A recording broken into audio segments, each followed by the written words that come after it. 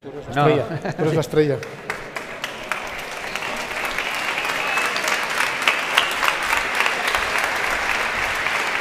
Aquí yo, tú ahí.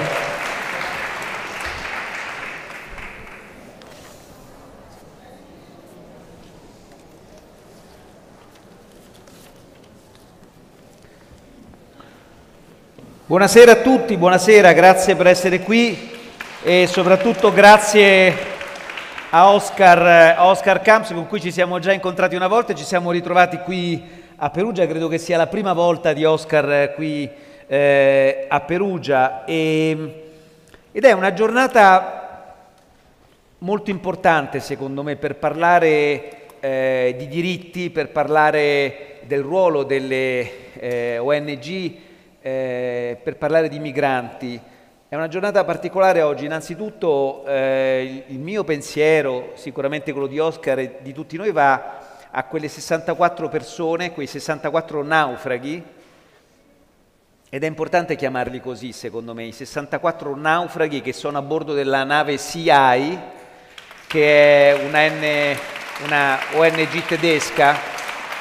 E dico naufraghi perché ci dobbiamo ricordare che queste persone sono, non sappiamo se sono eh, profughi di guerra, se sono eh, rifugiati politici, se sono rifugiati dalla fame. eh, noi sappiamo che sono naufraghi che sono stati salvati, diciamo, dalla morte in mare e questo, diciamo, è il primo punto fondamentale. Esistono delle convenzioni internazionali che eh, obbligano fortunatamente a salvare le persone in mare senza domandarsi da dove vengano e dove vanno e chi siano. Vanno innanzitutto salvate. Queste 64 persone su questa piccola nave ehm, sono- si sono dirette verso eh, Lampedusa, ma sono state bloccate a 16 miglia dalla costa, quindi fuori dalle acque territoriali italiane perché il governo italiano ha detto che i porti sono chiusi, che Lampedusa era un porto chiuso. Siccome su questa nave eh, ci sono anche dei bambini e c'erano in particolare due famiglie che avevano bisogno di un intervento eh, urgente perché i bambini sono piccoli ed erano in sofferenza, ehm, una famiglia era composta da un papà, una mamma e un bimbo di 11 mesi e l'altra famiglia era composta da una mamma, un papà e un bimbo di 6 anni.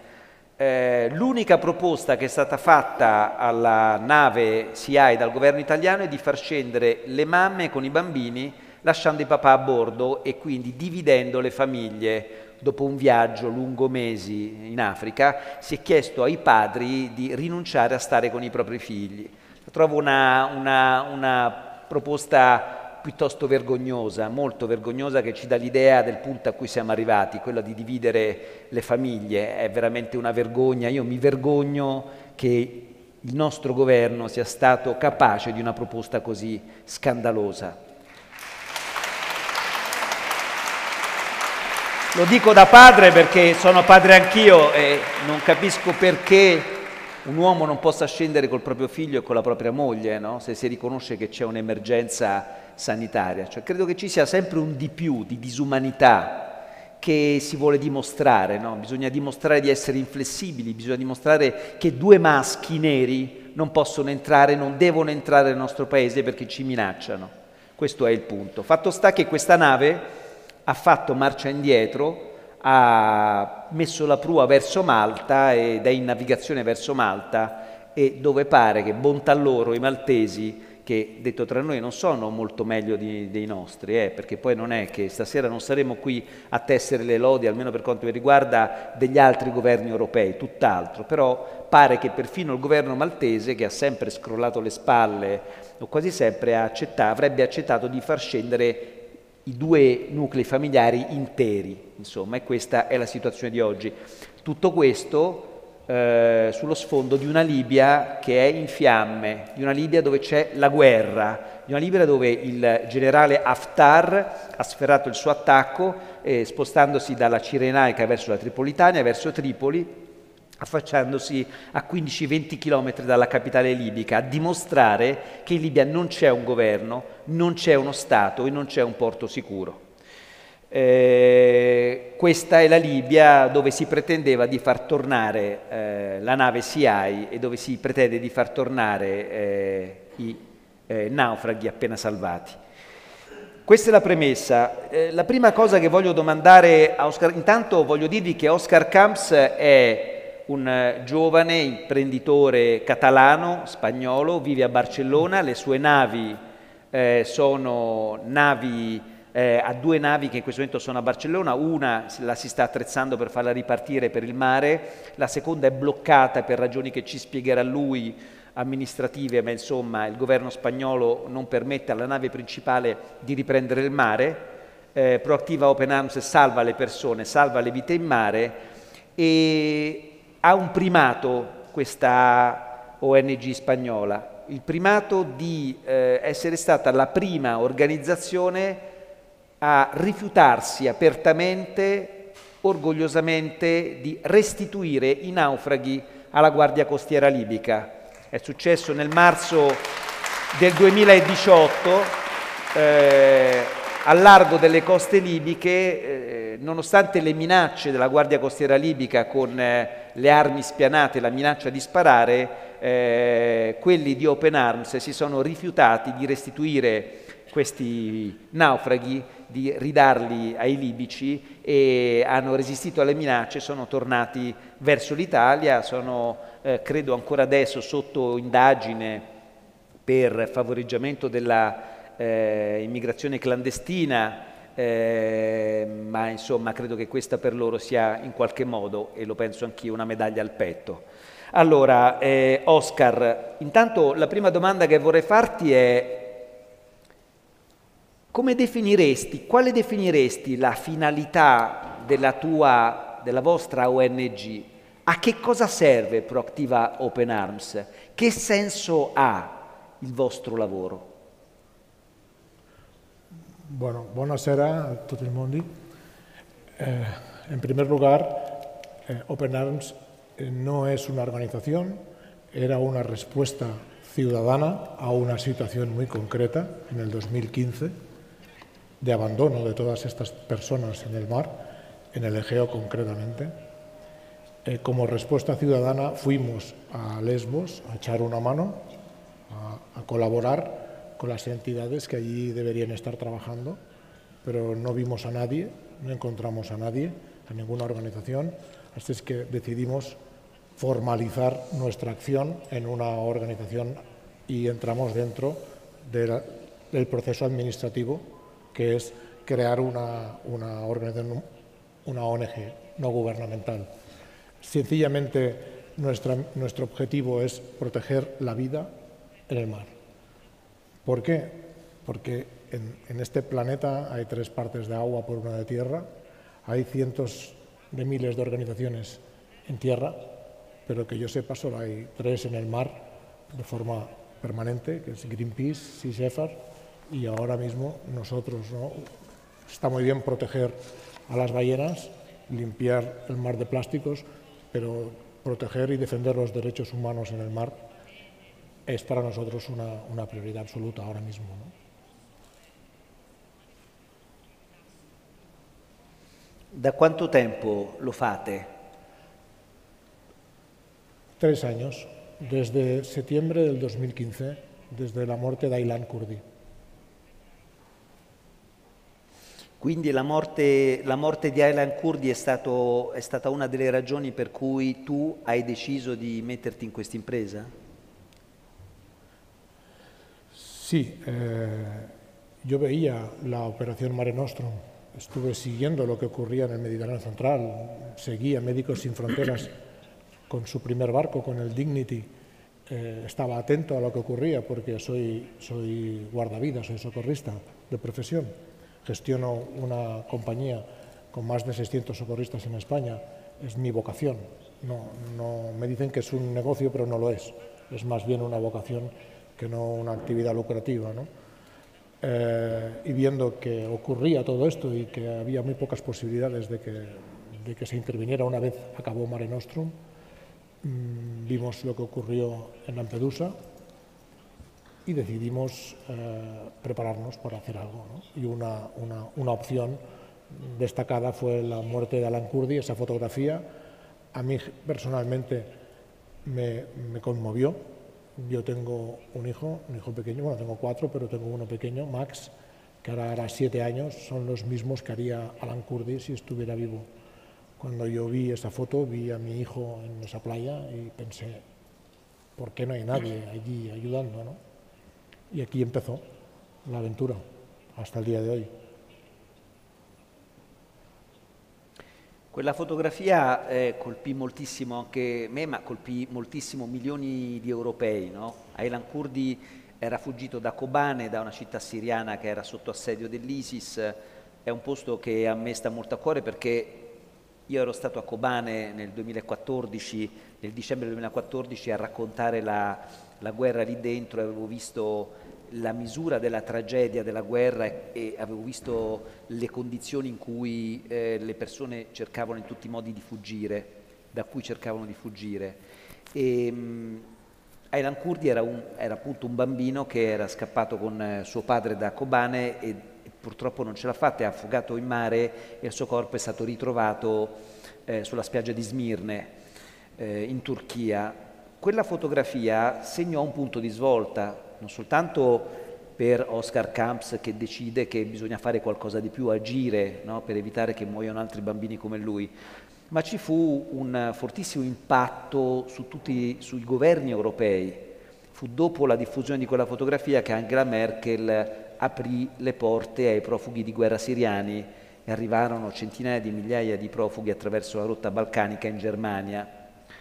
Eh, quel, quell'apertura delle, delle frontiere credo che sia costata cara ad Angela Merkel che da allora cominciò a perdere consensi perché fu accusata di aver aperto indiscriminatamente eh, agli immigrati in Germania. Però ecco, Corrado, déjame que te amplíe.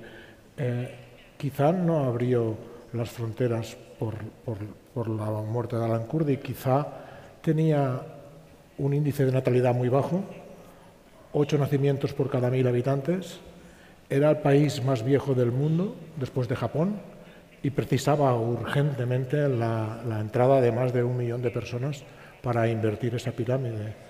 Qué casualidad que llegaron por Grecia ese, ese, cerca de ese millón de personas y, y, le ponían trenes en Austria para llegar hasta, hasta Alemania. Y cuando realmente recibió esos 900.000, qué casualidad que en marzo se firmara un acuerdo con Turquía y se cerrara el acuerdo de la vergüenza y se cerrara ese flujo migratorio. Pero mientras eso ocurría, el pull factor eran las organizaciones que estaban trabajando en el mar, no era un país con una pirámide invertida. No era el país más viejo del mundo, eran organizaciones humanitarias que estaban intentando proteger la vida de estas personas que no estaban yendo en avión desde Turquía hasta Alemania, sino que estaban jugándose la vida, pagando a traficantes que separaban las familias, como, como intentaba hacer Salvini en este barco del CIA con, con certo. estas 64 las separaban en la orilla. Ma, ma adesso Adesso ci arriviamo al tema del pull factor, che è un tema molto discusso e molto discutibile. Tu hai ragione, Angela Merkel fece anche un calcolo economico e eh, volle prendersi i profughi siriani perché i profughi siriani tra l'altro erano i più formati, erano spesso persone diplomate, laureate, che erano persone che avrebbero portato energia vitale dentro le aziende tedesche. Eh, ci fu sicuramente anche un calcolo, ma io non è lì che volevo arrivare, poi ci arriveremo tema, eh, a, a, questo tema a cui accennavi te, però non c'è dubbio che allora la foto di Aylan Kurdi eh, ebbe un forte impatto emotivo sull'opinione pubblica eh, europea, cioè quel primo bambino morto, no? quel primo martire eh, diciamo de, de, dell'immigrazione, secondo me smosse le coscienze la, che, la mia domanda era questa, non credi che da allora a oggi sia cambiata la sensibilità eh, delle persone? Cioè oggi la foto di un bambino morto, probabilmente di un bambino morto annegato, e ne annegano tutti i giorni, non avrebbe lo stesso impatto sui governi e sull'opinione pubblica che ebbe allora, come se in questi anni la propaganda, la rabbia avesse scavato, diciamo, avesse in qualche maniera un po' reso più insensibili le persone di fronte a questo tema?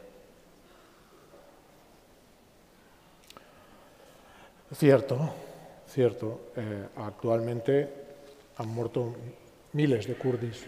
Nosotros hemos visto morir decenas de Alan Kurdis. No es lo mismo ver un muerto que verlo morir. No es lo mismo ver la foto de Alan Kurdi que, que intentar rescatar a Alan Kurdi y no poder. Y cuando los tienes a bordo, darte cuenta de que no puedes dejarlos en ninguna parte porque no te abren los puertos y te persiguen.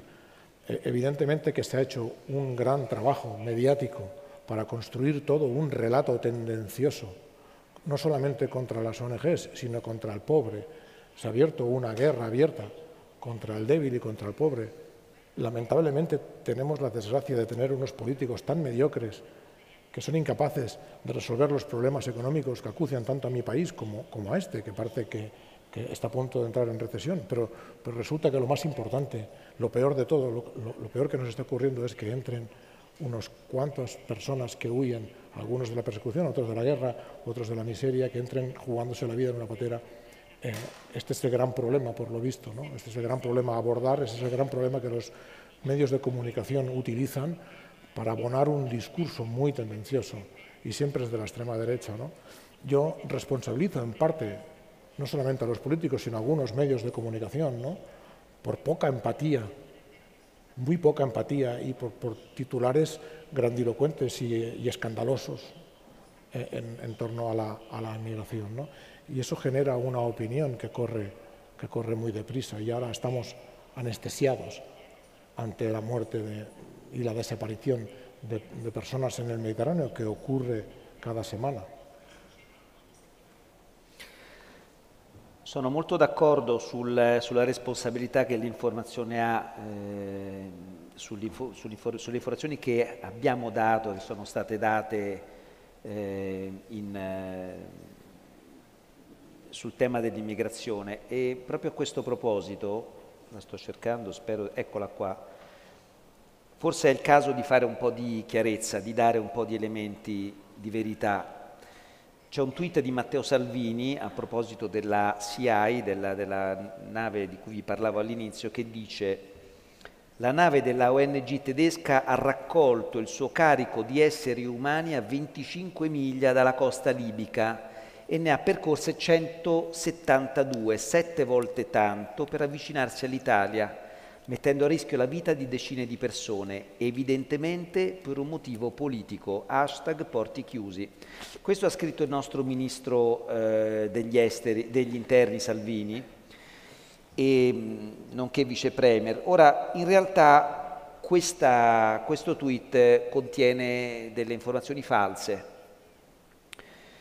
perché dà per scontata una cosa, che la Libia e l'Italia siano due che la Libia e l'Europa siano due entità paragonabili, omogenee, che quindi una nave che salva i naufraghi debba semplicemente scegliere la costa più vicina per poterli portare in salvo. E questa è una enorme bugia.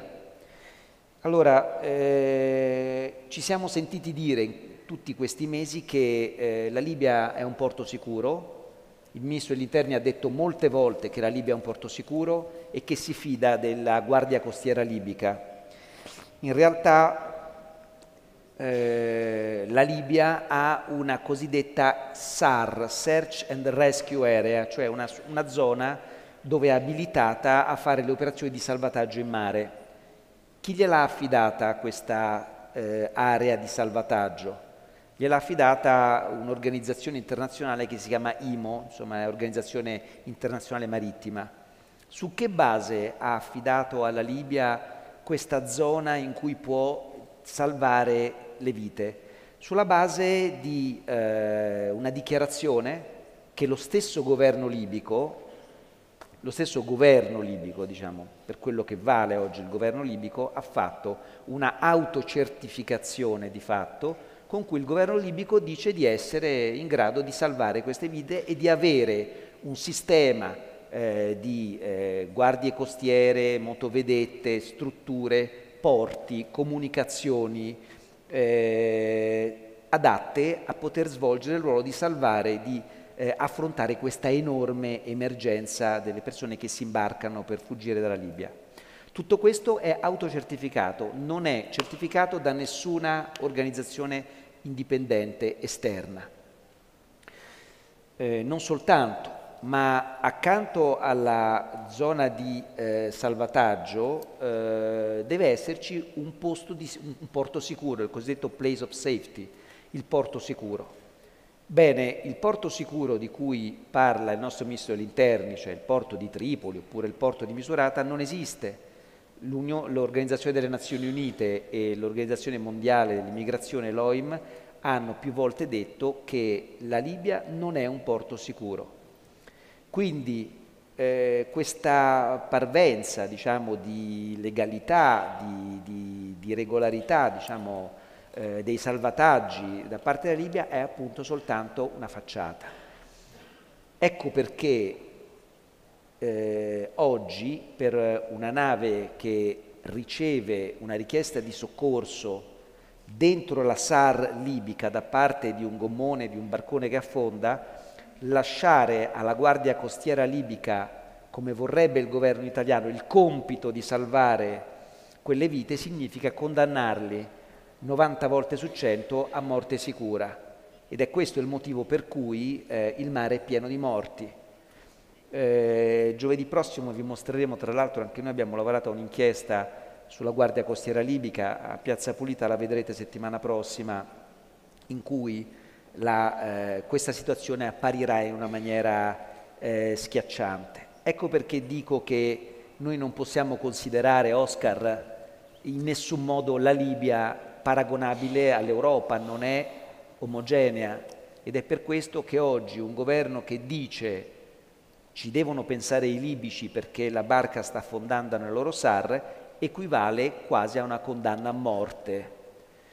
Eh, non so tu che cosa ne pensi, ma soprattutto se vuoi aggiungere qualcosa su queste zone di sicurezza, appunto, perché io credo che una cosa che l'informazione non ha fatto abbastanza è spiegare questo punto, cioè spiegare che è tutta un'invenzione questa delle guardie costiere e delle zone di sicurezza e di salvataggio libiche. Cosa ne pensi? Bien, bien eh, en, cuanto, en tanto en cuanto oímos hablar de la Unión Europea o de algunos dirigentes de la Unión Europea refiriéndose a Libia como estamos negociando con el gobierno de Trípoli, estamos eh, formando a su guardia costera, eh, parece que estemos hablando de un país con un Estado, de un país que tenga un estamento jurídico que proteja y defienda a sus propios ciudadanos, un país organizado, con su propia marina, con su propio ejército, con su propia policía, y, nada de todo esto es cierto. ¿no? Volvemos al uso de los medios de comunicación de forma tendenciosa para generarnos a todos esa anestesia de oír tantas veces el mismo, la misma cancioncita, que estamos negociando con Libia, que estamos formando su guardia costera, que Libia es un país seguro. en, esta discusión la tuve con el ministro de, Exteriores de mi país, que también, y, la vicepresidenta del gobierno también decían que teníamos que llevar nosotros las personas rescatadas a Trípoli, ¿no? Y yo le pregunté, ¿por qué en la página web del Ministerio de Exteriores, cuando habla de Libia, dice que fueron evacuados todos los españoles hace años de Libia, que no se permite viajar a Libia, que no se recomienda viajar a Libia, que hay peligro de muerte incluso en la propia capital, en Trípoli, peligro de ser secuestrado y asesinado incluso de día, y que el gobierno no se hace responsable del viaje a Libia. En cambio, te dice, y, es capaz de decirlo delante de un medio de comunicación sin sonrojarse, ir a Libia a devolver a estas personas. Libia no es un país seguro, Libia no es un Estado, Libia es un Estado fallido. Ahora mismo creo que hay tres Kalashnikov por, persona en, Libia. Si no son capaces de tener el control de la propia capital, ni, de las etnias, ni de las más de 100 etnias que controlan el sur del país, ni de los tres grupos armados que se autoproclaman gobierno legítimo de, de, Libia. Europa sí, Europa, Naciones Unidas, reconoce a uno, a uno de estos grupos armados, a los que les apoya económicamente, a los que se les da embarcaciones para que hagan devoluciones en caliente y deportaciones. ¿Por qué? Porque en el 2016, cuando llegamos al Mediterráneo Central, rescatábamos miles de personas, miles.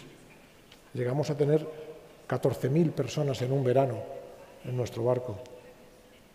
Era increíble cómo se paraba eso, intentando, ya que en tierra no había control absoluto de las mafias que los embarcan y los lanzan al mar, la única opción de las tres operaciones militares que podía haber en el Mediterráneo en ese momento era formar a esos grupos armados, darles barcos y que salieran aguas internacionales a perseguir a las personas que huyen y por la fuerza y contra su voluntad devolverlos al mismo infierno. Claro, tú te preguntas, si, si no es un país, si no es un Estado, si no tiene un gobierno que controle y que dé seguridad, si no hay un estamento jurídico que defienda a sus propios ciudadanos, si no tiene una armada, si ni siquiera tiene el control del aeropuerto ni de los puertos, ¿cómo podemos hacer para darle un toque de realidad y de legalidad a esta acción que no es más que devolver a un país en guerra a la gente que huye de allí?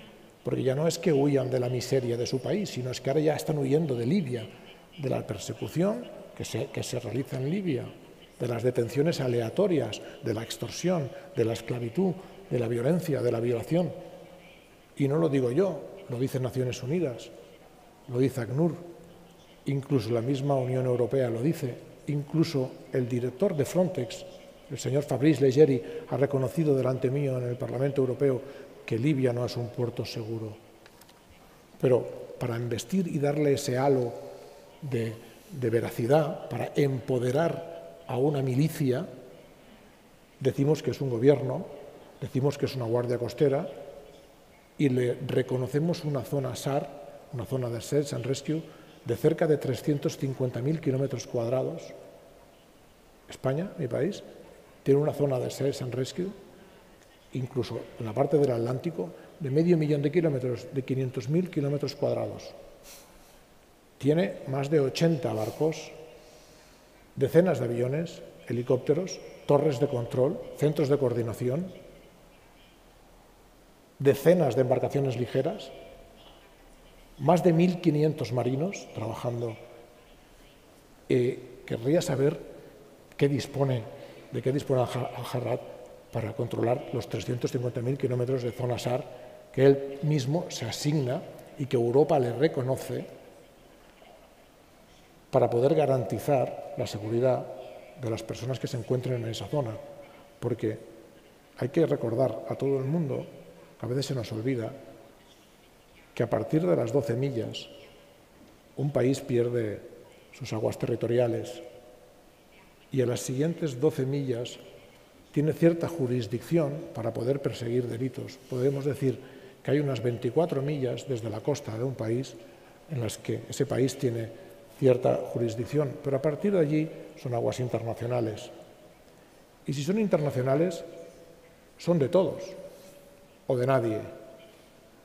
Entonces, cuando una barca está en aguas internacionales, una barca con personas hacinadas, una barca que carece absolutamente de todo tipo de medidas de seguridad, que está sobrecargada, que sus dimensiones no van a, poder evitar que vuelque cuando las olas superen el metro setenta, ¿Por qué decimos que hay inmigrantes y no náufragos?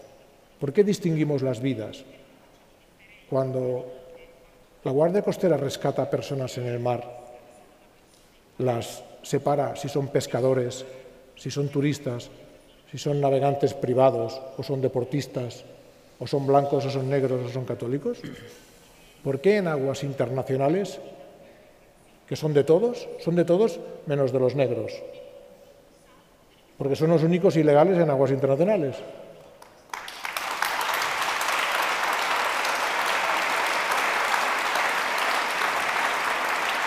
Quindi vedete che appena si scava un po' vengono fuori le, le bugie, proprio le, le, le, falsità.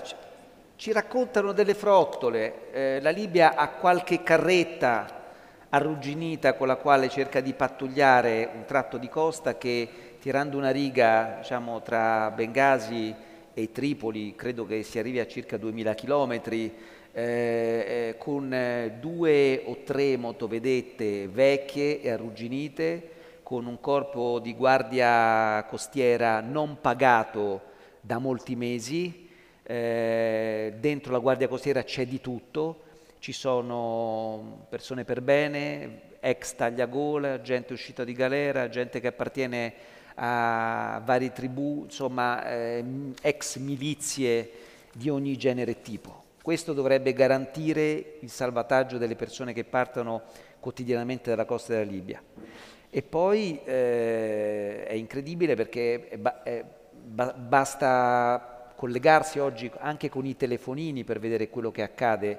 A me è successa una cosa, io ho chiesto un, um, un visto per Libia eh, ad agosto del 2018, non l'ho ancora ricevuto, eh, sono passati molti mesi, questo visto a noi non lo hanno dato. Uguale anche a te? Io también he pedido una ecco, visa. Niente. E no, non non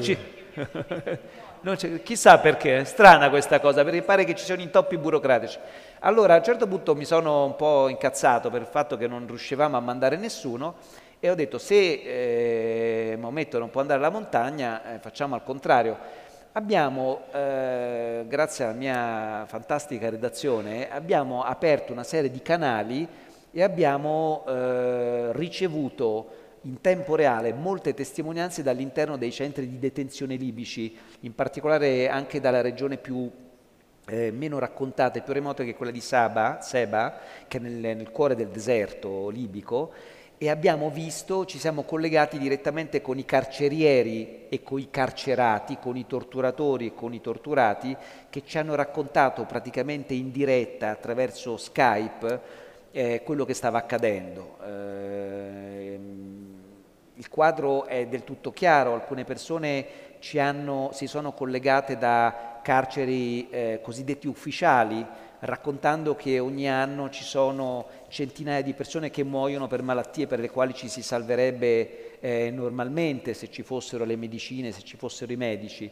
Il quadro di quello che accade lì è chiarissimo, così come è chiarissimo che in Libia esiste la schiavitù, nel senso che per i libici eh, i neri sono schiavi, eh, loro chiamano con la stessa parola in arabo i neri gli schiavi, c'è un'equiparazione, li chiamano schiavi e sono eh, carne da lavoro, eh, attraverso il loro lavoro da schiavi si pagano la possibilità di fare un tragitto, di avvicinarsi alla costa per poi pagarsi il viaggio e la traversata. Capite che per queste persone dopo eh, anni di eh, torture e schiavitù sia meglio eh, rischiare di morire in mare piuttosto che rimanere in quella condizione ed è la ragione per cui eh, a un certo punto eh, quei disgraziati che sono stati salvati da un mercantile recentemente hanno visto che il mercantile metteva la prua verso la Libia, hanno diciamo, dirottato il mercantile eh, da un'altra parte perché non volevano tornare in Libia. Eh, qualcuno chiamerà pure pirateria o terrorismo questo atto, ma insomma è del tutto comprensibile dai racconti che riceviamo che chi scappa dalla Libia sia pronto a qualunque cosa pur di non tornarci. Quindi vedete che basta parlare con le persone che eh, hanno a che fare con i fatti eh, lì in Libia e nel mare per conoscerli più a fondo. Tuttavia credo che la, l'argomento eh, principe sul tema delle ONG e, del, e dei trafficanti di uomini sia il cosiddetto pull factor. Cioè la grande accusa che viene fatta, Oscar, eh, a voi delle ONG è che eh, siate con le vostre navi sempre più vicine alla costa libica, eh, talvolta accusano i governi anche dentro, ben dentro le acque territoriali libiche, abbiate di fatto costruito un corridoio eh, umanitario per cui eh, di fatto avete trafficato in persone, avete fatto un favore ai trafficanti di uomini e avete attirato questi, di, questi, questi migranti eh, a fare la traversata per venire in Europa. Questo si chiama pull factor, dice il nostro eh, ministro dell'interno, ma lo dicono più o meno tutti i governi europei, che da quando le ONG eh, non ci sono praticamente più in mare, eh, ci sono meno, eh, molti meno barconi, molti meno sbarchi e anche molte meno persone che muoiono in mare. Come rispondi a questa eh, critica, a questa osservazione? Bueno, tenemos bastante práctica contestando a este tipo de acusaciones porque ya desde el 2015 nos las van... Ya, ya también nos decían en el 2015 que en, que en las barcas que salían de Turquía venían, venían terroristas del Estado Islámico. ¿no? Eh, en aquel momento también generaba cierta tensión en la población. ¿no? Ahora con el tiempo y la distancia vemos que no, que los terroristas eh, eh, en España no entran por mar, sino vienen por avión y tienen media Marbella comprada, porque son los saudíes que están allí eh, recibidos por incluso por nuestro rey. ¿no? Así es que el pull factor para nosotros es el dinero. El pull factor es que España pague a Marruecos para que Marruecos no deje salir. El pull factor es que Alemania o la Unión Europea, a través de un, un acuerdo de Grecia con Turquía, paguemos a Erdogan 6.000 millones de euros para que no deje salir. Y el pull factor es pagar a grupos armados libios para que retengan por la fuerza y contra su voluntad a la gente que quiere huir de allí. Ese es el, verdadero pull factor, porque cuando se acaba ese dinero, quieren más dinero y dejan salir para obtener más dinero, porque en Grecia siguen saliendo ahora mismo. Cientos de miles de personas están retenidas. Bueno, hay más de dos millones de sirios todavía en, en Turquía, pero están llegando entre 600 y 1.000 personas casi a diario a las costas griegas, de nuevo, Quizás que Europa no está pagando esos 6.000 millones a Erdogan, porque este año Mohamed VI ha dejado salir de Marruecos a 60.000 personas que han llegado en patera o han sido rescatados en el sur de España? Pues evidente, para renegociar ese convenio que tenía con el gobierno español. El pull factor no es estar a 24 o a 50 millas de la costa de Libia. Eh, habrá que explicarle al señor Salvini que entre el canal de Suez y el estrecho de Gibraltar está el paso, uno de los pasos marítimos más importantes del mundo. Por allí pasan aproximadamente 97.000 barcos mercantes al año. Es fácil hacer un cálculo y te serán 250 barcos al día. 250 barcos que cruzan de un lado a otro por esa zona de mar. Es una auténtica autopista de barcos. Por eso lanzan allí a las barcas, no para que lleguen a Europa, que es casi imposible que lleguen a Europa con, con este tipo de embarcaciones, sino para que alguno de los mercantes lo haga, los encuentre y los rescate pasándose en la ley más antigua del mundo, en la ley del mar, en ese sentido, que hay que proteger la vida de todo el mundo que te encuentras en el mar. Ahora mismo no hay embarcaciones humanitarias. Nosotros tenemos periodistas a bordo de nuestro barco en todas y cada una de las misiones. Hemos puesto el foco en la situación, se ha hablado, hemos intentado mediatizar lo que estaba ocurriendo, ponerles altavoz a estas personas para que nos expliquen cómo ha sido su tormento, cómo ha sido su viaje, lo horroroso que ha sido su estancia en Libia y cuántas personas han visto morir a su lado. Si no estamos, no es que no haya muertos, ni no haya llegadas. Las llegadas se silencian. En el sur de España tampoco se está hablando del número de personas que llegan, porque hay unas elecciones dentro de un mes. Y como aquí pasó en el 2018, que en enero llegaron miles de personas desembarcadas, pero este gobierno también se las ingenió para pagar a los libios para intentar bajar ese número de llegadas que bajó considerablemente el mes de febrero y durante las elecciones en marzo del 2018 apenas había llegadas en Italia a costa de la salud de las personas retenidas por la fuerza en Libia, que nosotros rescatamos más adelante y pudimos denunciar que se había deteriorado la salud de estas personas, evidentemente corrado, como tú decías, por ese hacinamiento, por esa falta de, recursos, por la ausencia de ningún tipo de asistencia médica por, cantidad de patologías infecciosas, tuvimos que, denunciar lo que estaba ocurriendo o cómo los, los encontrábamos nosotros en el medio del mar. El pull factor no es un barco en 2.000 kilómetros de costa, porque la costa libia son 2.000 kilómetros de costa. Un barco que está a 100 kilómetros mar adentro, en una costa de 2.000 kilómetros, no es un pull factor. ¿Quién va a llegar hasta allí? Eh, hemos opiado o hemos olvidado, quizá casualmente o quizá intencionadamente, los medios de comunicación no hablan lo suficiente del push factor, que es el factor que empuja a esta gente a decidir morir en el mar antes que seguir un día más en el tormento, en la violación, en la extorsión o en la esclavitud. Porque te contaré por encima cómo es el viaje de una de estas personas. Cuando sale de su país, pongamos que un eritreo sale de su país con los pocos miles de, de euros que ha podido reunir de toda su familia, a través de mafias intenta cruzar fronteras, pero evidentemente que en la primera frontera y en la primera mafia pierde absolutamente todo su poder adquisitivo. Pero no puede volver atrás. Tiene que seguir. Hará cualquier cosa para seguir. Morirá antes que volver atrás por la humillación que supone haber arruinado a toda su familia para poder intentar hacer ese viaje. Si consigue cruzar el Sahel, que es el desierto, donde hay más muertos en el Sahel que en el Mediterráneo central, en el Mediterráneo han habido muchas organizaciones y cuatro y cinco operaciones militares que han salvado muchísimas vidas, pero en el Sahel no hay nadie. Están a merced de mafias.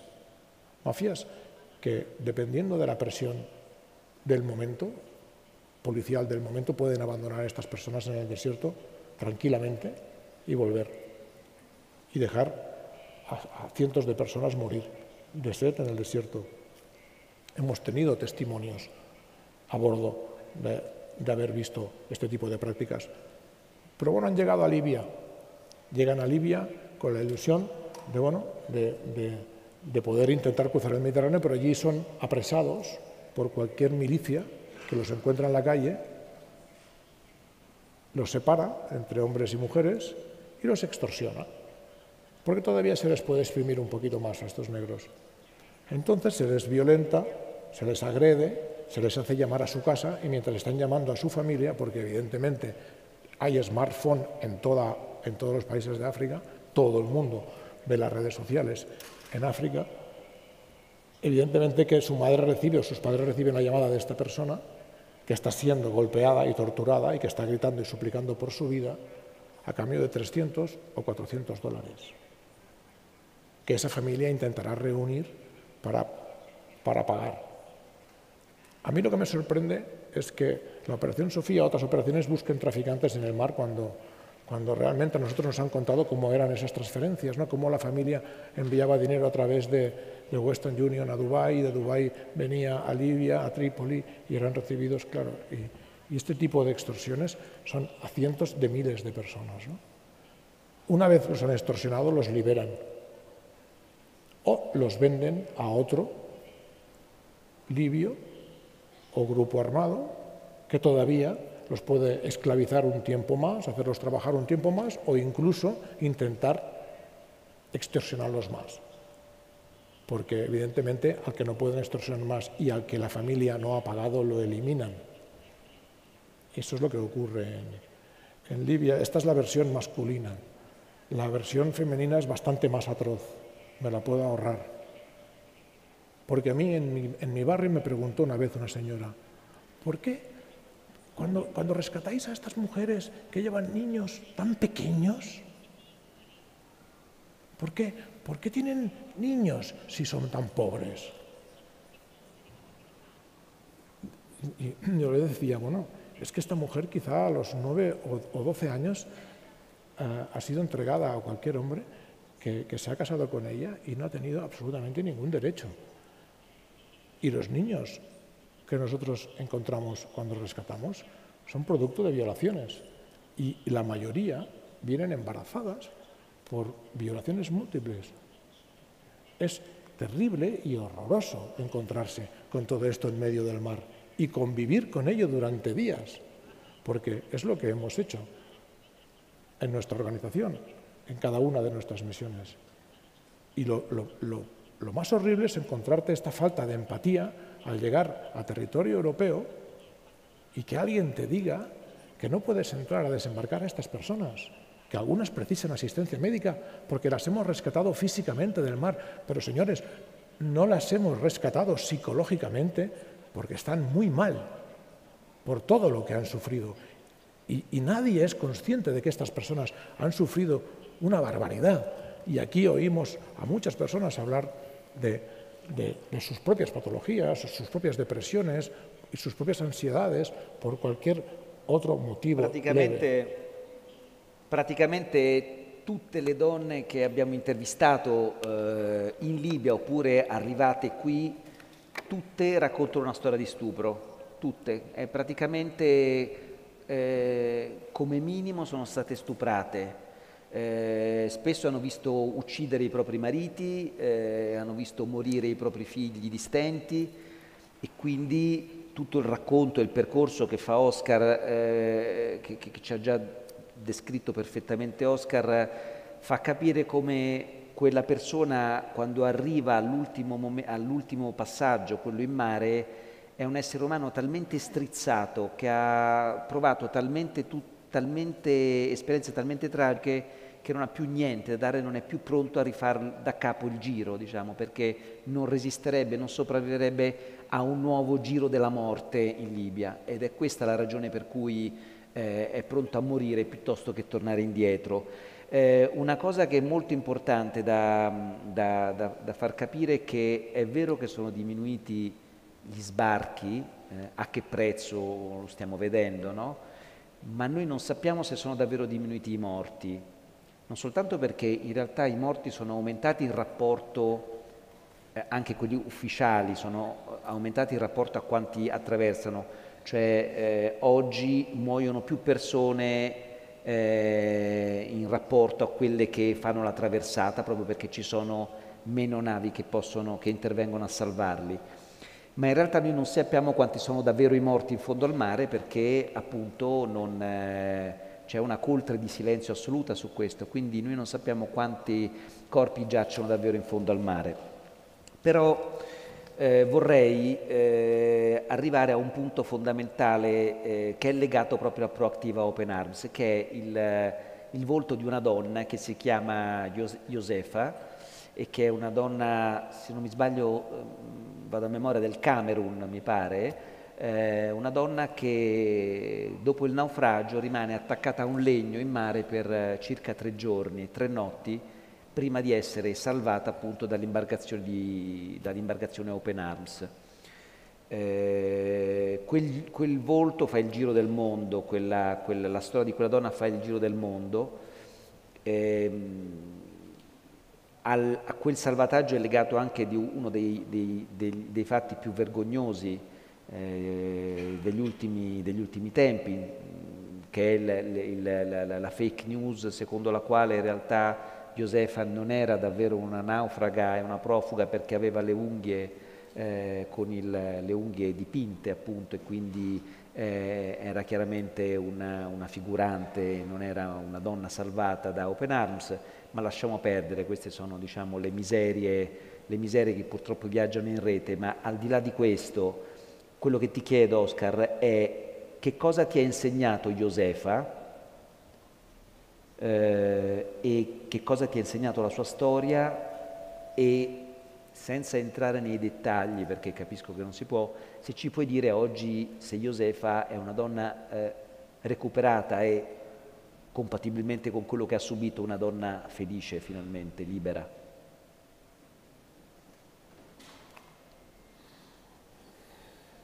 El caso de Josefa es extremadamente grave. Eh, no fue un naufragio, fue abandonada en el mar de forma consciente y deliberada ella y los otros dos cuerpos que encontramos como mínimo. Nosotros seguimos ese rescate por radio eh, durante toda la noche. Oímos cómo esa barca estaba cerca, la estaban buscando y no la encontraban. Eh, hubo un mercante que los encontró y se mantuvo durante unas horas eh, protegiendo con su presencia a, esa embarcación, esperando la llegada de la famosa Guardia Costera Libia, que no llegaba nunca, que tardó muchísimas horas en llegar, casi tantas como nosotros, pero ese mercante decidió irse, que era más importante su mercancía llegar a puerto y las sanciones que podían recaerle por perder tanto tiempo allí, porque tanto la Guardia Costera italiana como la Guardia Costera libia le engañaban, le decían que era inminente la llegada, era inminente la llegada y pasaban las horas y ahí no llegaba nadie. Nosotros oíamos esa conversación mientras nos dirigíamos, estábamos a 80 millas de distancia, un barco navega a 10 nudos, que podía ser unos 18 kilómetros por hora, así que estábamos a unas cuantas horas.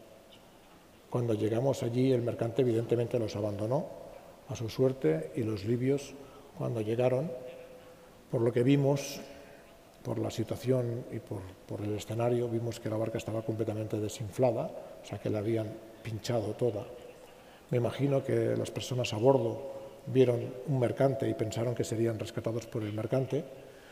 Al, al dejarlos el mercante abandonados y aparecer los libios y ver que volvían otra vez a la tortura, a la violación y a la esclavitud, decidieron no subirse a esa patrullera. Me imagino que los, la Guardia Costera Libia, muy bien preparados y formados por la Armada Española y por la Guardia Civil Española, eh, decidieron pincharles la barca, que se, que se les hundiera la barca y, y entonces de esa manera querrán subir a la patrullera. Evidentemente que no todos subieron porque nosotros llegamos unas horas más tarde y nos encontramos el cuerpo de un niño de 10 años, me imagino que su madre, y el cuerpo de, bueno, Josefa, que estaba en, situación agónica, desesperada, eh, apenas consciente, como ya habéis visto en las imágenes. ¿no?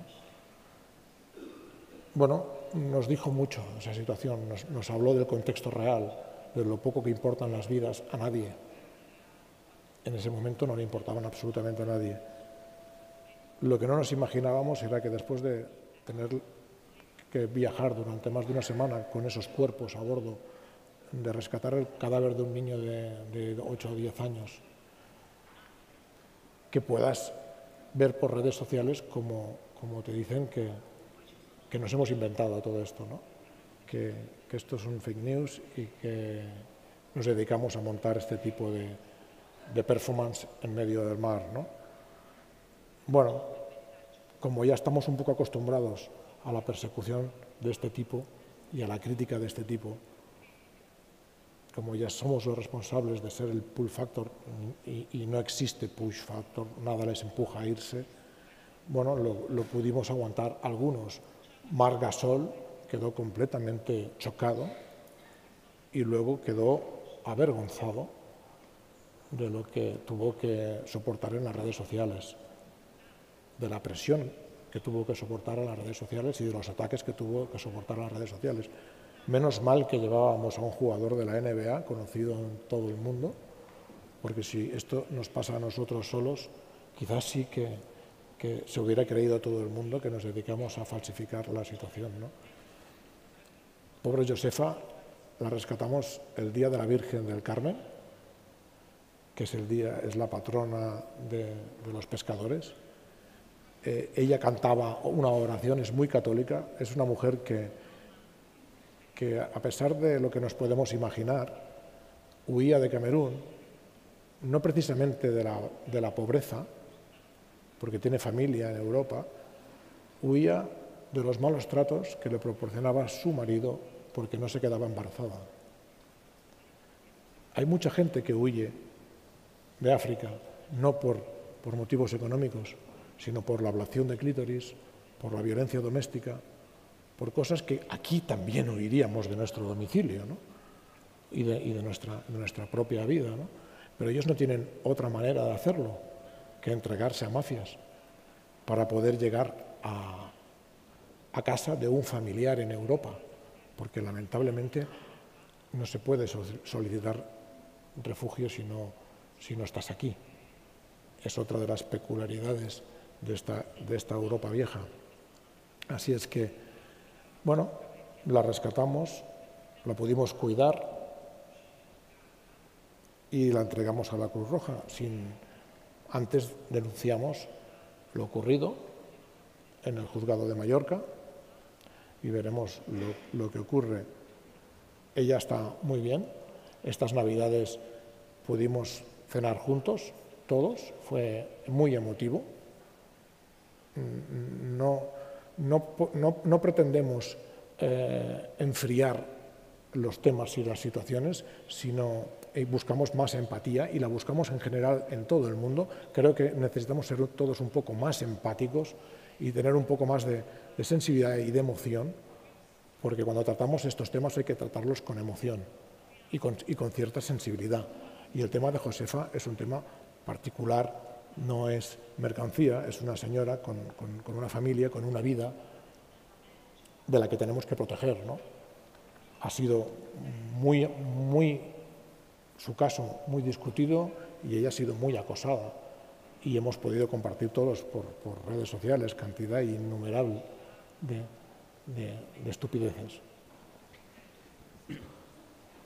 Pensate, magari l'avete già letta voi questa cosa, no? ma a me ha molto colpito perché questa eh, fake news su Josefa eh, prendeva spunto dal fatto che c'è una foto di Josefa salvata, messa sulla nave con lo smalto sulle unghie e quindi qualche disgraziato aveva fatto il tweet dicendo vedete che è un falso, come fa un naufrago ad avere lo smalto sulle unghie, no?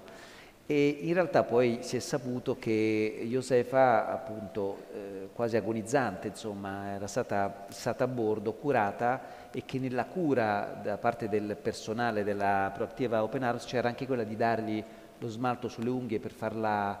Eh, per farla tornare nuova, no? in qualche modo, per farla sentire a proprio agio, per, farle, per darle quel piccolo, quella, quell'idea di essere tornata ad una vita quotidiana, normale. No? Questo, secondo me in questo gesto invece c'è lo straordinario lavoro di questi, di questi ragazzi delle ONG, no? che appunto si preoccupano tantissimo anche di dare quelle, quell'appoggio psicologico a chi resuscita dall'inferno.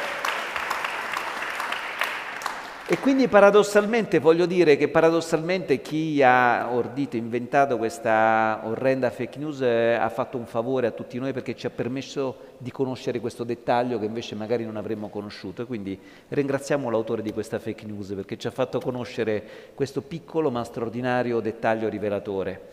Io rimarrei qui 15 ore perché sapete che è il tema della mia vita questo, quindi però non possiamo magari qualche domanda dal pubblico mi piacerebbe sentirla. Avrei due domande, eh, ti chiedo magari di essere un pochino eh, sintetico, eh, Oscar. La prima è questa. Eh, quanto queste polemiche sulle ONG stanno danneggiando economicamente le ONG? No? Allora oggi tenere una barca ferma ha dei costi, tenerla in mezzo al mare senza farla sbarcare ha dei costi enormi di carburante, di equipaggio, ehm, eh, attaccarla a dei costi perché le, le sottoscrizioni rischiano di, di, essere di meno perché appunto c'è una campagna di discredito nei confronti delle ONG.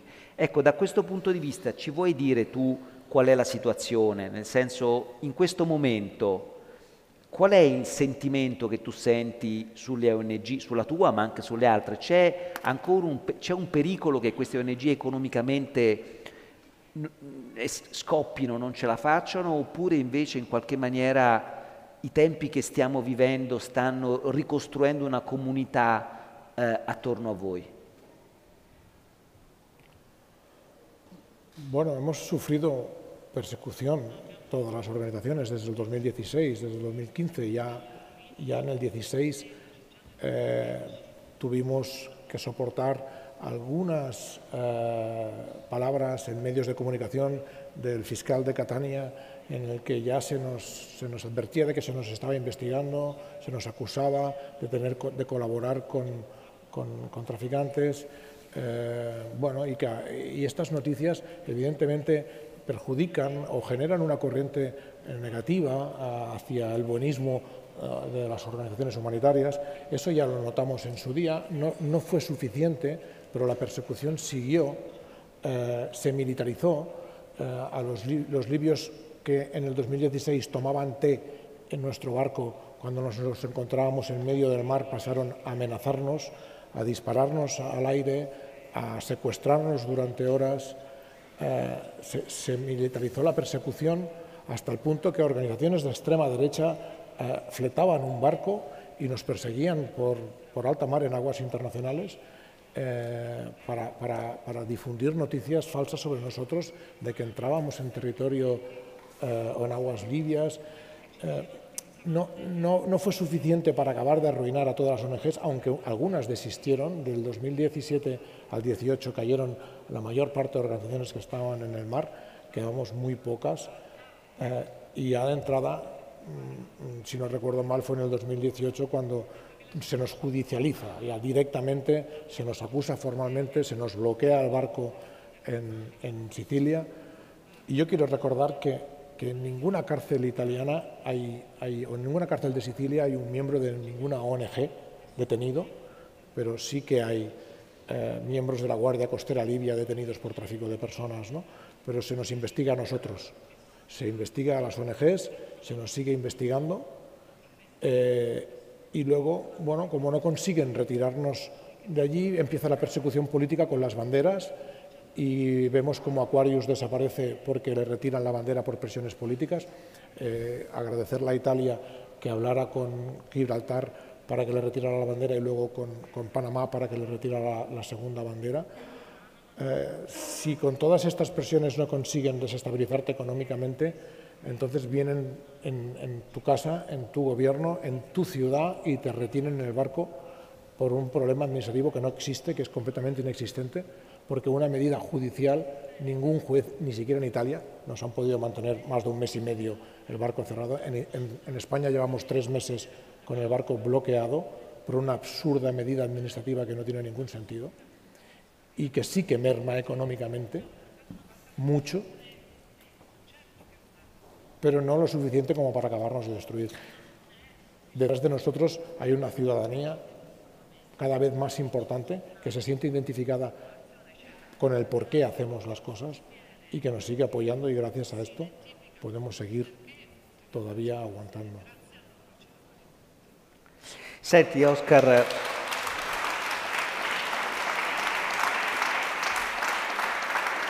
l'ultima domanda che ti faccio io, ehm, le, persone più diciamo moderate, non eh, estremiste, non ideologizzate, però fanno una domanda, d'accordo, eh, è criminale lasciarli in Libia, eh, è immorale pagare le milizie libiche, è immorale pagare Erdogan per tenersi eh, i profughi, d'accordo tutto, ma come facciamo ad accoglierli tutti? Si domanda la maggioranza degli italiani e forse anche degli spagnoli. No? Ecco, a questa domanda tu hai una risposta da dare? Possiamo accoglierli tutti? Come facciamo? ¿Dónde están los intelectuales de este país? ¿Por qué me lo preguntáis a mí?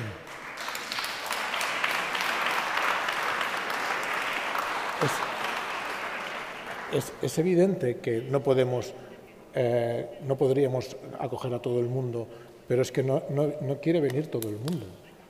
Eh, es una parte muy pequeña la que viene aquí. Eh, más del 80% de la migración de África se queda en África, es interna de la propia África o de la zona. Solo sale un porcentaje muy pequeño. Pero es que Europa envejece.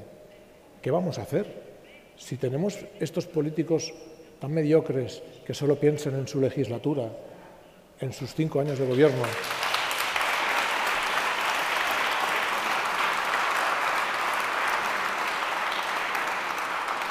no, no, no, quieren afrontar el problema económico real del que sufre el país y ponen, ponen cortinas de humo y, se inventan fake news y, y, nos hacen creer que el peligro y el problema está fuera con los pobres que vienen. ¿no?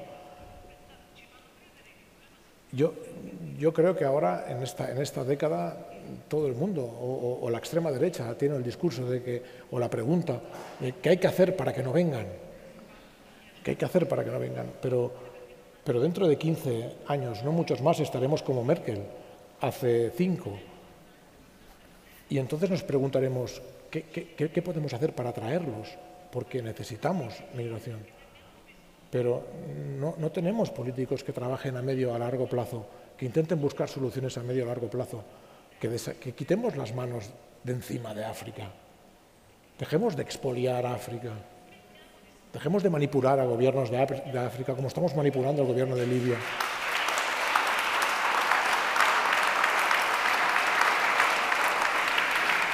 ¿Cómo es posible, cómo es posible que la diáspora mande más dinero a África que toda la ayuda humanitaria que desde Europa se envía a África, ¿cómo van a dejar de venir?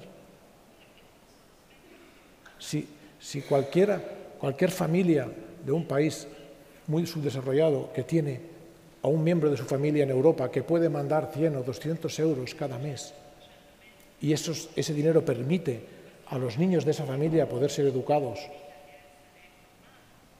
y, tener una mejor calidad de vida. Eso genera una pequeña clase media.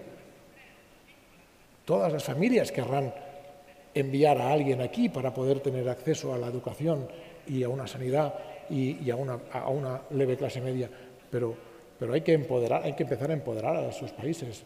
Y, y si cualquiera de estas personas que se gasta 7 o 8 mil dólares en llegar a Europa e invierte cuatro años de su vida o cinco años de su vida, si le puedes explicar que si estudia una carrera en su país le va a costar el mismo periodo de tiempo, le va a costar mucho menos dinero y podrá llegar a Europa en una beca,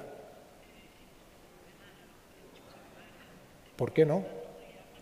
¿Por qué no empezar a ir al origen y a explicar en los lugares más deprimidos que la quimera europea es falsa, que cuando lleguen aquí van a ser deportados, van a ser encerrados en un centro de detención, van a malvivir en la calle?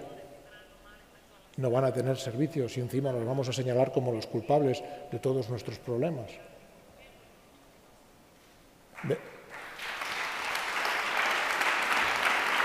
Allora, se, se siete d'accordo, anche perché c'è una sala bella piena, eh, abbiamo veramente dieci minuti scarsi, dieci minuti scarsi, quindi se ci sono delle domande, Oscar, che dici? Le ascoltiamo dal pubblico, 4-5 domande, però vi prego, fate i giornalisti, fate le domande, eh, non fate i comizi però, cioè rapidi e così riusciamo a far parlare più persone possibile. Grazie. Salve, mi chiamo Letizia, sono la responsabile delle politiche di migrazione di Volt Italia. E mm, noi con Open Arms abbiamo avuto un bellissimo rapporto quando abbiamo cominciato a scrivere il nostro programma, eh, condividiamo assolutamente tutto quello che dite e siamo con voi ma io preferirei che voi non foste in mare. Io preferirei che voi non, dobbia, non doveste uscire in mare per salvare delle persone. Io preferirei che la rotta mediterranea venisse chiusa e vorrei che l'immigrazione potesse essere una via legale, potesse, che questa gente potesse venire legalmente in Italia senza rischiare la vita. Con gli aeroporti, aprendo gli aeroporti d'Europa. Lei pensa che sia una, un'idea diciamo un po' un'utopia fare questo, questo, questa riforma in generale del sistema di accoglienza europeo e che si possa effettivamente dare un taglio all'immigrazione clandestina rendendola legale? Aprire un corridoi, corridoi umanitari legali, Oscar. Sí, Leticia, estoy completamente de acuerdo con, con, con lo que dices. ¿no? Eh, en primer lugar, ojalá Ojalá no tuviéramos que estar nunca en el mar. Nosotros no queríamos crear una organización para permanecer. De hecho, no tenemos estructura porque pensamos en cualquier momento ya no hará falta que, estemos allí porque, porque, habrá una operación civil o militar que garantizará la seguridad de estas personas.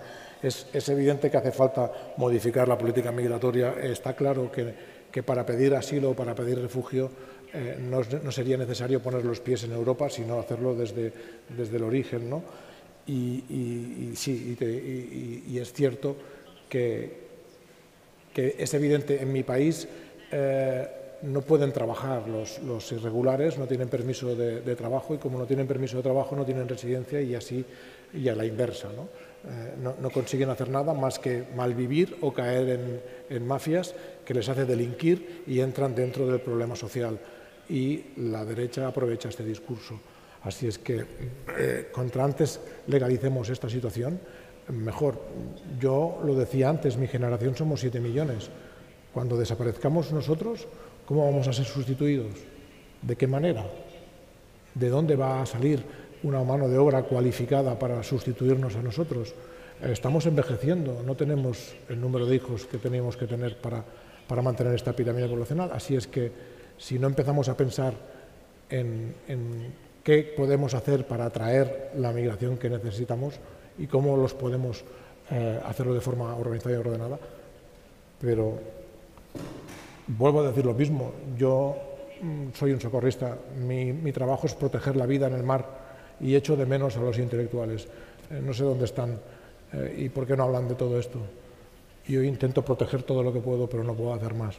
No puedo cambiar la política migratoria de la Unión Europea.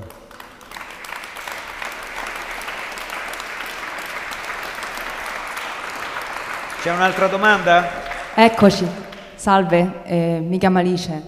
Eh, la mia domanda è, fra tutte le accuse che sono state mosse alle ONG, eh, diciamo in questa sala, in questo contesto, siamo tutte persone interessate, quindi possiamo prendere diciamo, anche questa domanda con la giusta prospettiva. C'è qualche accusa che può essere minimamente fondata? Grazie.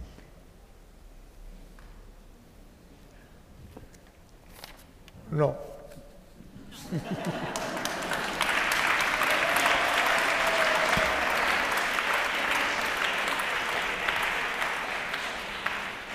Alice, siento ser tan, tan, tan escueto, pero, pero no. Si tuviéramos que traficar, traficaríamos con drogas o con armas, que es mucho más rentable, no, no con personas, que encima comen y hay que mantenerlas y cuidarlas y curarlas, son un gasto.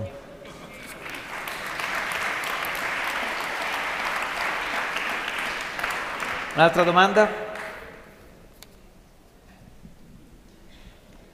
Allora io vorrei fare questa domanda. Lei ha letto in diretta il tweet di Salvini, no? Sì. E a proposito di ciò, eh, secondo lei perché un tweet è in grado di prevalere sui racconti, sulla realtà dell'immigrazione e perché pochi replicano ai tweet con dati di fatto facilmente reperibili?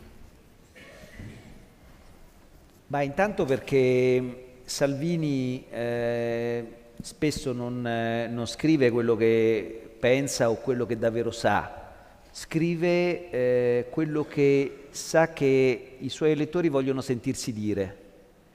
E questo è il punto fondamentale. Oggi i politici parlano con la lingua dei loro elettori eh, come se fossero degli Zelig, no? Cioè oggi hanno capito che i sondaggi eh, è, un, è, un, circolo vizioso naturalmente, no? è un circolo vizioso per cui si alimenta la paura, poi si fa una legge per, eh, per diciamo, andare incontro a questa paura che si è costruita nel tempo attraverso spesso appunto il lancio di allarmi infondati.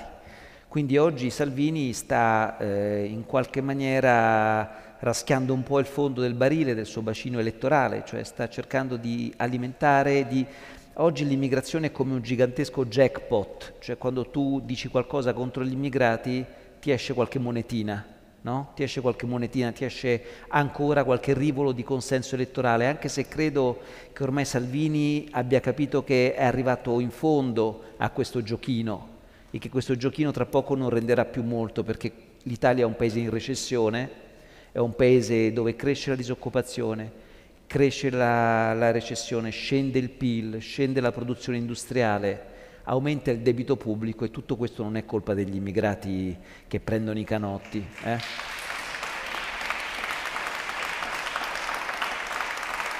Per quanto, riguarda, per quanto, riguarda, contrapporre delle verità oggettive a, a, quello che viene scritto sommariamente con un tweet per alimentare la rabbia e la paura, Naturalmente eh, la, la, politica di opposizione ha pochi numeri per farlo perché ha poche carte in regola. Se oggi ci troviamo in una situazione come questa e con la quasi impossibilità di avere un'immigrazione regolare e dei flussi regolari, è anche perché il governo che ha preceduto questo non ha avuto il coraggio in cinque anni di abolire la legge Bossi-Fini, tradendo, tradendo una delle più importanti promesse che aveva fatto ai propri elettori. Lasciamo perdere, era una promessa, era una promessa su cui loro hanno preso i voti, dicendo che la Bossi-Fini era uno scandalo. Poi quando siamo arrivati al dunque di abolirla si è detto che però bisognava aspettare che la percezione del paese, che se non si faceva un favore a Salvini, ecco, credo che questo sia uno dei tanti errori che ha, che ha fatto la sinistra, che non ha mai avuto il coraggio di, eh, di, di, di dire come la, di prendere una posizione chiaramente differente da quella della destra. E quindi sai, tra una destra che dice una cosa molto chiara e brutale e una sinistra che scimmiotta la destra, preferisco l'originale se, se, se andiamo sul tema dell'immigrazione. Quindi eh, l'opposizione non ha molte carte da giocare eh, su questo. L'informazione eh, ha, ha, peccato di sommarietà, di conformismo e diciamo che anche l'informazione tendenzialmente ha il vizio di appiattirsi sul eh, diciamo, su quella che è la maggioranza o, o la percepita maggioranza del paese. Io credo che in realtà il problema sia che eh, se tu racconti le storie delle persone, eh, al di là dei numeri, eh, se, eh, se, rimani con i piedi nella realtà e racconti le storie di persone come Giuseppa, eh, piano piano riesci a, a convincere gli italiani di quali siano, davvero, eh, quali siano davvero, i termini della questione, insomma, quindi non dobbiamo demordere, insomma, dare i numeri ma raccontare le vite delle persone e eh, continuare a, a, spiegare che le vite degli altri non sono diverse dalle nostre, che eh, i bimbi che vengono da quei, da quei, posti hanno gli stessi nostri diritti, hanno, le, hanno il diritto di muoversi, il diritto di cercare diciamo, la, loro, la, loro, fortuna esattamente come noi. Insomma. Quindi in questo momento ci vuole il coraggio di continuare a, a battere su questo chiodo insomma, il più che, più che si può. Insomma. C'è qualche altra domanda? Sì. Ho avuto già il piacere di parlare con volont- dei volontari della Sea-Watch e una questione che mi ha lasciato molto impressionato eh, sono le condizioni all'interno della nave. Per adesso, per tutto il pubblico qui presente, sa dirci quanti posti bagno avete a bordo, quanti posti letto, cucine o anche solo sale da pranzo? Perché penso che le persone qui non abbiano capito cosa significa stare a bordo 15 giorni, 20 giorni, 30 giorni su nave sta carica. Oscar.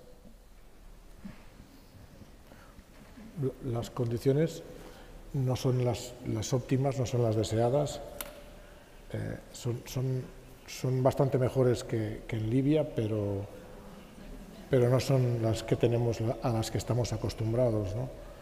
Eh, la verdad es que a veces hemos tenido que tener a bordo muchísimas más personas de las que podíamos permitirnos técnicamente, pero es el capitán del barco según, según la ley, según el derecho marítimo, quien es el que decide eh, el número de personas que podemos embarcar sin poner en peligro la vida del resto de la tripulación y la seguridad del propio barco. Hemos llegado a tener 570 personas a bordo con dos lavabos. Eso significa que tienes que hacer cola antes de tener ganas. y tenemos una cocina y hay que dar de comer a 570 personas y cuando ha comido el último, el primero vuelve a tener hambre. Y tenemos dos médicos que jamás atienden a todos los que llevan a bordo porque tienen que priorizar en los casos más graves y vulnerables. Es una locura tener a 15, a 15 días a 200 o a 100 o a 50 personas a bordo. Y también es una locura que nosotros tengamos que hacer mil millas o mil cuatrocientas millas con 300 personas a bordo en estas condiciones, porque ningún puerto desde aquí a España se nos ha permitido desembarcarlos. Pero estas son las reglas del juego. Y nosotros pensamos que están peor en el fondo del mar que a bordo de nuestro barco. Grazie, grazie Oscar Camps e spero che queste regole del gioco continui ancora a portarle avanti e che questo gioco è un gioco fondamentale per tutti noi. Grazie davvero.